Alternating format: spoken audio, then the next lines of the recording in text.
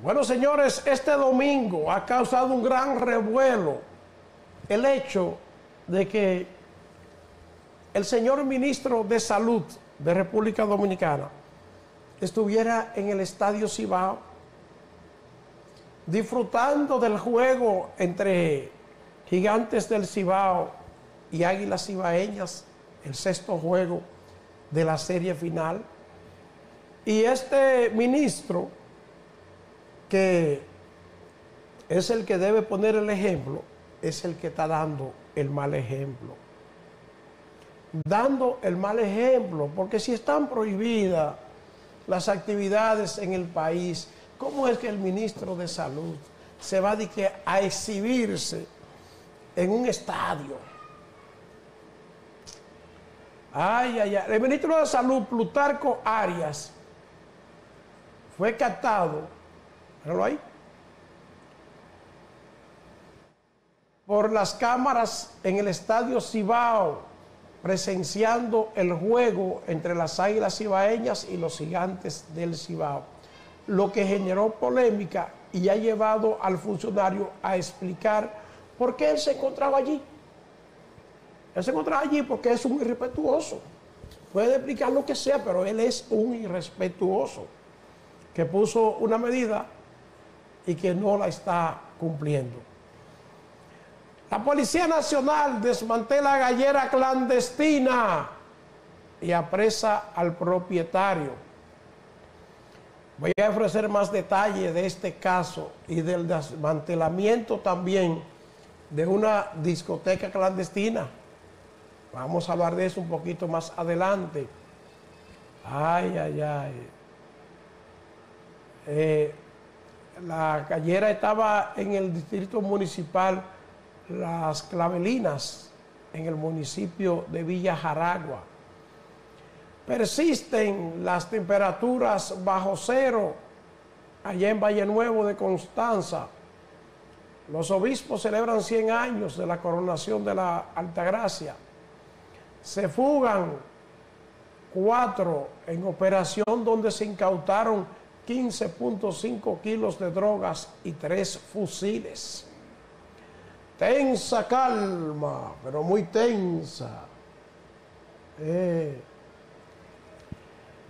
la calma eh, en Estados Unidos, que está blindado contra posibles protestas. Eso es por el ataque, eh, por el ataque y cosas para la juramentación de la, juramentación de el nuevo presidente de Estados Unidos, que es el miércoles. La DNCD ocupa seis libras de marihuana en el AILA. La DNCD no está fácil. Las multas en países europeos y América Latina por violar las medidas contra el COVID son, son muchas, señores. En todas partes hay multas.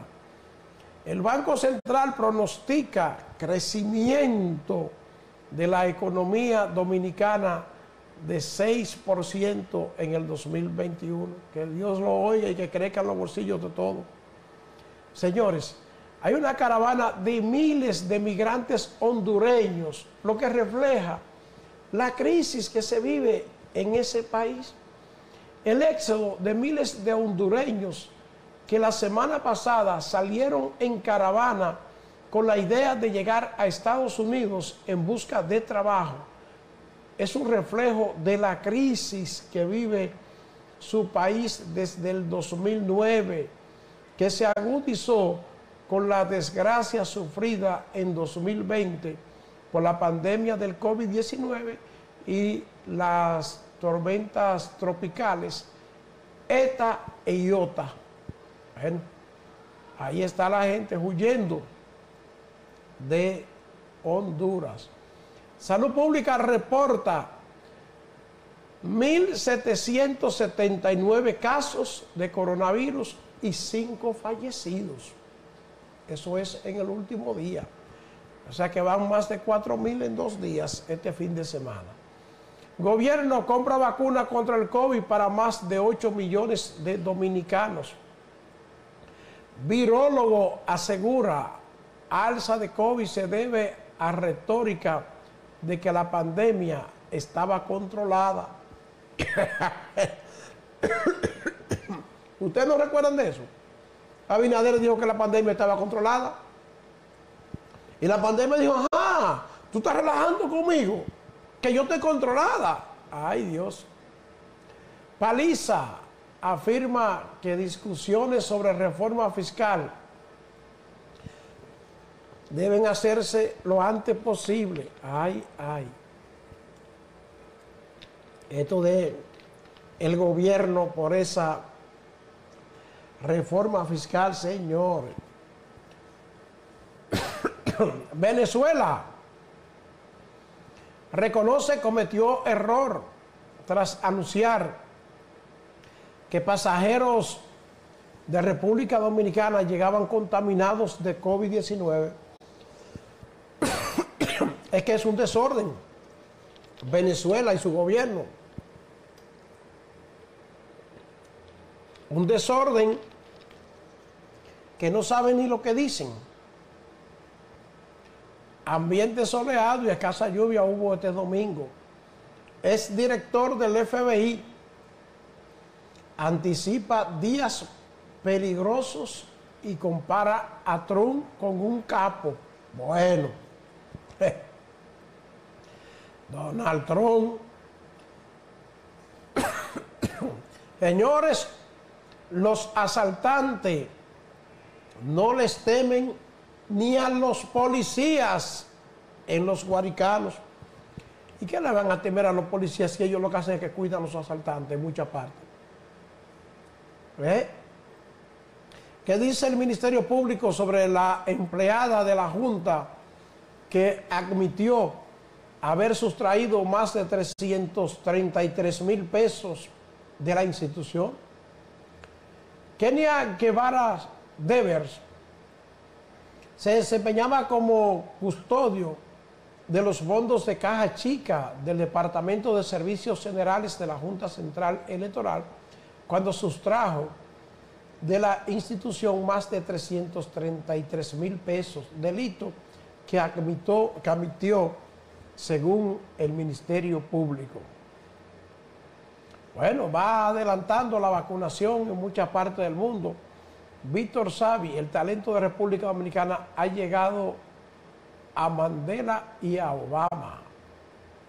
Tras una hora de vuelo, un avión aterriza de emergencia en el aeropuerto de Santiago por falla técnica, eso fue anoche. Que un avión de Delta tuvo que devolverse y aterrizar en Santiago. Kamala Harris jurará su cargo frente a la primera jueza hispana del Supremo. Bueno, señores, ahí están las informaciones de este día. Informaciones que están, pues, caliente en este país, pero lo que está más caliente es,